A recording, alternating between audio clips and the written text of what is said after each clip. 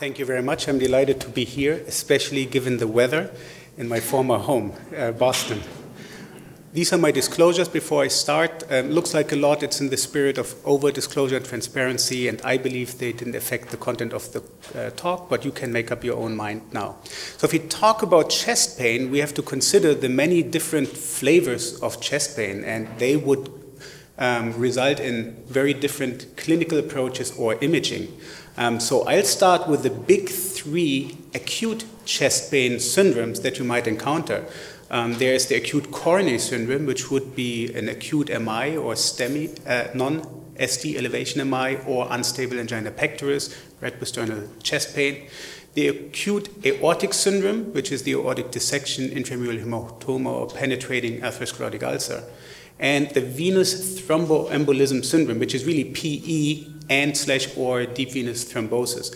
So the patients would present, of course, differently in a textbook. Um, in real life, sometimes um, there's a lot of overlap in the symptoms, but retrosternal chest pain would be for, for the acute coronary syndrome. Pleuritic chest pain is what we typically um, uh, consider uh, associated with pulmonary embolism. Um, and tearing chest pain between the shoulder blades would be leading you along the path of aortic pathology, such as a dissection. Um, there are, however, non-acute sym- uh, syndromes uh, uh, that are associated with chest pain, and they can affect every tissue that exists in the chest. The myocardium, for example, typically myocarditis, chest pain two weeks after a viral infection, for example. pericardial, as in pericarditis. Pulmonary pneumonia would be a big differential to all of the um, other uh, entities we uh, named, pleural with a pneumothorax. In the mediastinum, you could have GERD, gastroesophageal reflux, and of course, maybe at a social disagreement a week ago, got punched in the chest, and you know, you have that chest pain. It's often a differential diagnosis to an acute MI um, in the emergency room. So let's start with PE or venous thromboembolism, which is PE and deep venous thrombosis. Um, the role of ultrasound in acute chest pain is somewhat limited. Uh, maybe in DVT, ultrasound has its biggest role because it would be considered the reference standard to exclude lower extremity um, deep venous thrombosis. Um, the advantage is it's non invasive, relatively low cost. There's no radiation associated with this, and it's usually readily available. You will have technologists in house in any major medical centers 24 7. It is dynamic. So for the heart, you could look at cine images and even for the lower extremities.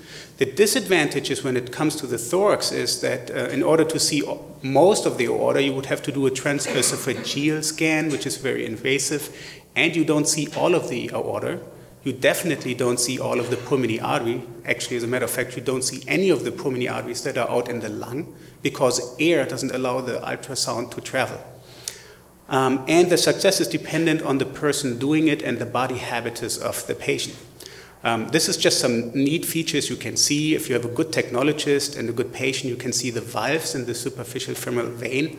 Um, but what we usually do is some um, color Doppler. You would look for a filling defect. You can get dynamic information. Somebody squeezed the calf, and you can see that the flow is faster here. That tells you there's no clot between where you squeezed and where you were looking. So flow um, uh, evaluation is an advantage of CT.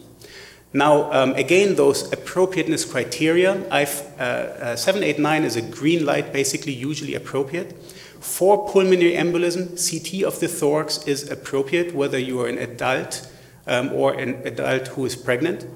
Um, CTA thorax and the lower extremity uh, which we had been experimenting with in medicine is considered um, uncertain, certainly not appropriate, or not, usually not appropriate in pregnancy because you could replace the lower extremity CT venogram with that ultrasound that has no radiation.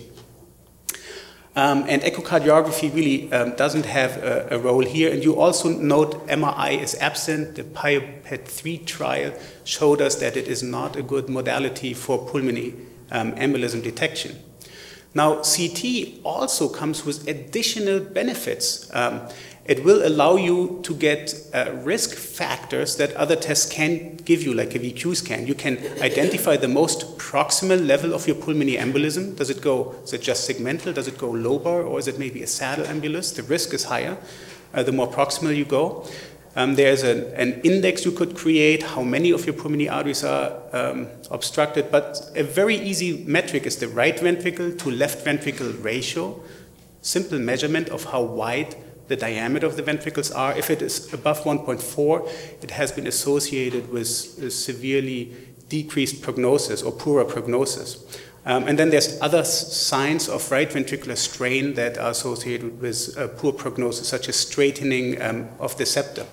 Here's just an example. So um, a VQ scan would probably also pick up that um, these are obstructed pulmonary arteries where there's clot within them. We also know that there's wedge-shaped peripheral opacities, which tell us there, uh, uh, that there's an infarct that we usually don't get with a PE because of that dual blood supply the pulmonary arteries themselves, but then also the bronchial arteries that prevent an infarct from happening. But sometimes we do get infarcts. And if you look at the right ventricle here, it's much larger a distance than the left ventricle. So the ratio here is increased more than 1.4 to 1. So there's RV strain, there's also flattening of the ventricular septum. So there's a lot of risk factors that help you assess the prognosis in this patient compared to other patients with pulmonary embolism. The diameter of the pulmonary artery can increase markedly, in this case of chronic uh, PE, and again, uh, a case of RV strain. Um, there um, other guideline documents um, when it comes to imaging of the aorta and the coronary arteries. They're often multi society guidelines. They all came together um, to figure out what the best patient management is, including imaging. This is one from the American College of Radiology, which we've heard a lot about, but also the American College of Cardiology, the AHA, and a number of other societies. And it's about imaging of the aorta in the acute setting and in the non acute settings. And they have class one um, and two and three indications. Class one is the strongest indication you can get or recommendation. And they say that urgent and definitive imaging of the aorta using transesophageal echo CT or MRI is is recommended to identify or exclude thoracic aortic dissection in patients that are high risk for that. They, a class 3 means this is not indicated or contraindicated. A negative chest x ray means nothing. Um, you can't exclude a dissection or acute aortic injury, so don't uh, just do a chest x ray. But then they go uh, further to say selection of an imaging modality to identify or exclude aortic dissection should be based on patient variables, okay, like body habitus, and uh, maybe acuity, institutional capabilities, including immediate availability. And this is critical. If you have a guy standing there with the echo probe and somebody to do the anesthesia, to do a TEE right away, then you could do that to rule out aortic dissection. Um, but usually this is a slower test and it's very invasive. MRI is an, a possible test, but MR itself takes a long time. Um, so in most hospitals, the most immediately available test for aortic dissection, for acute aortic dissection, would be a CT uh, because of that.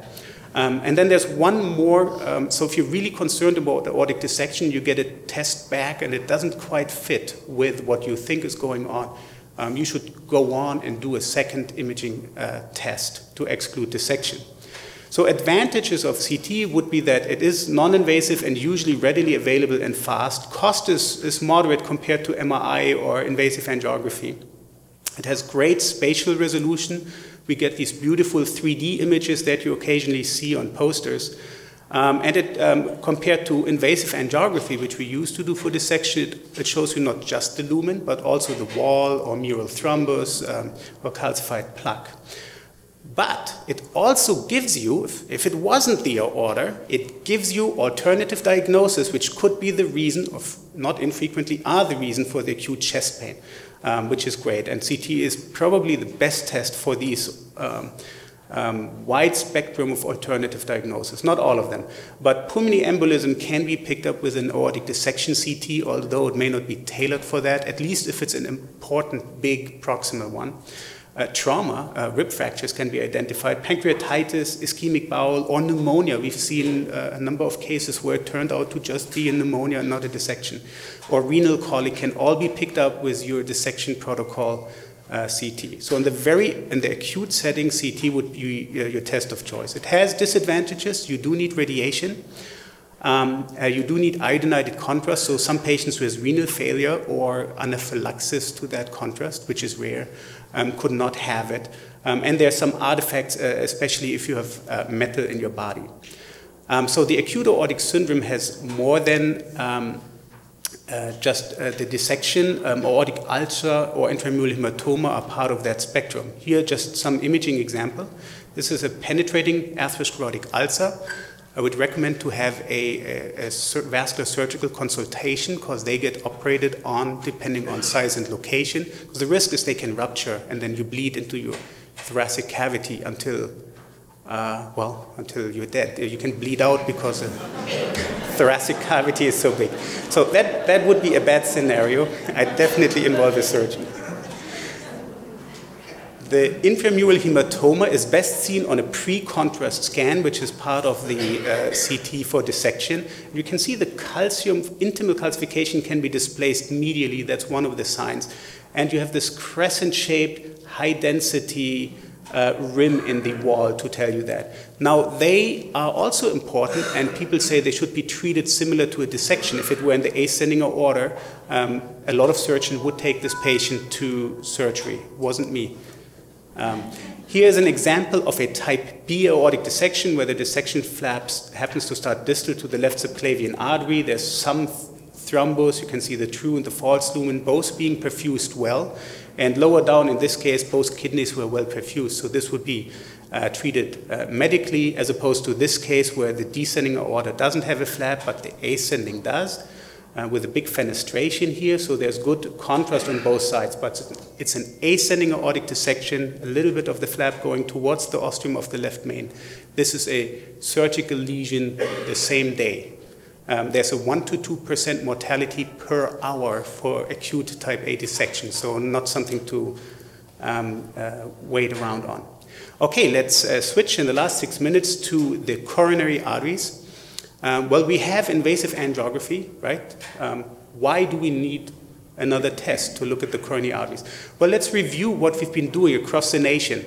Uh, 660 hospitals in the big national data registry were reviewed by uh, some physicians from Duke, Manesh Patel, and Pam Douglas. They're very prominent cardiologists.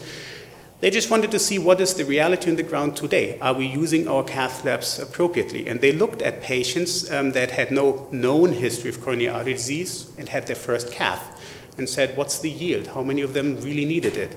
And they identified people that had no coronary artery disease, which they said less than 20% luminal narrowing, and found that 40% of people that go to the cath lab had what they called no coronary artery disease.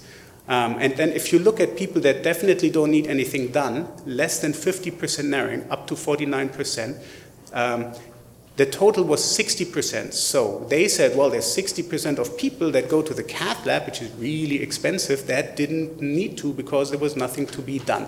And they concluded that we need better strategy for risk stratification um, and to sort out people that need to go to the cath lab and people that don't need to go to the cath lab. So I'd like to invite you to help me see if CTA, these are two of our fellows, could be the gatekeeper to the cath lab. okay, let's see. Let's start out with the accuracy of CT. Um, accuracy test uh, uh, studies, uh, there are a number out there, use invasive angiography as the gold standard. So they can't be wrong. Um, and CT is measured against it. And compared to all other non-invasive tests for uh, ischemia um, that basically look at the same thing, CT has the highest accuracy uh, uh, in terms of sensitivity and specificity and overall accuracy.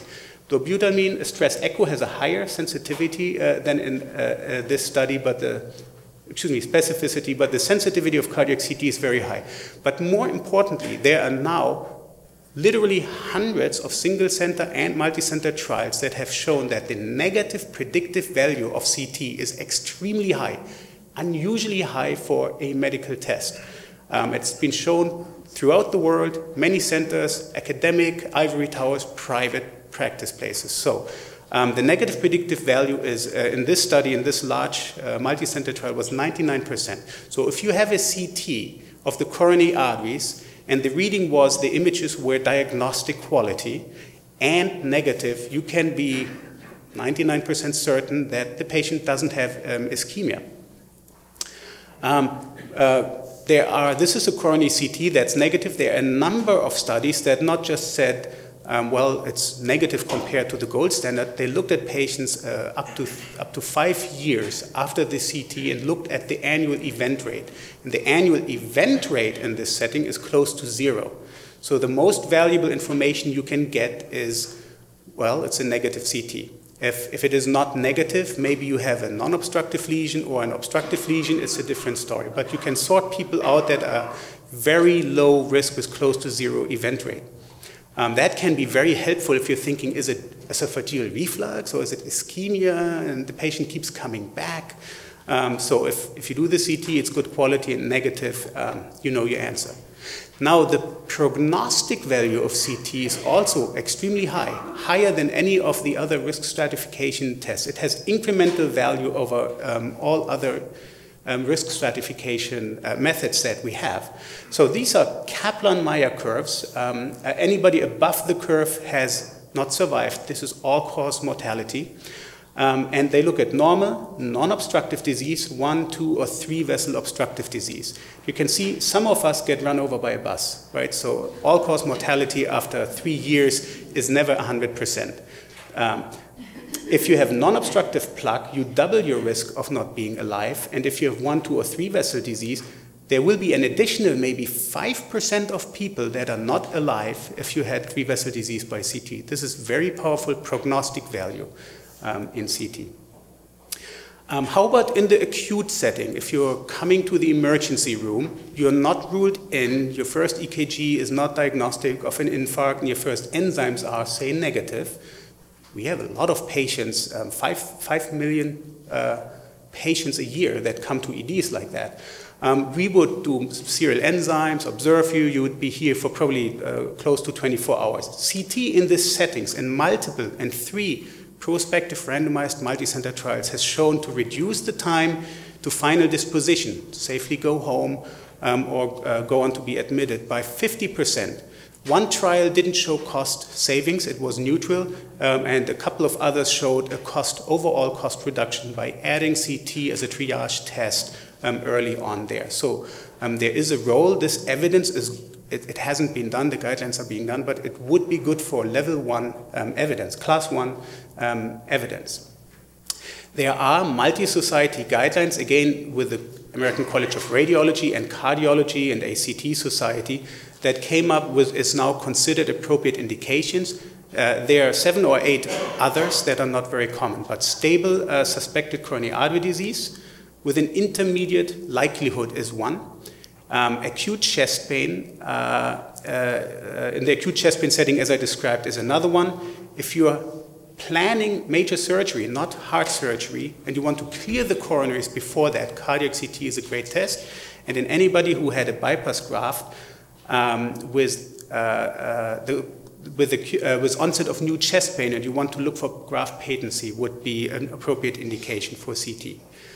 All right, so with that, I'm out of time, and I thank you very much for your attention.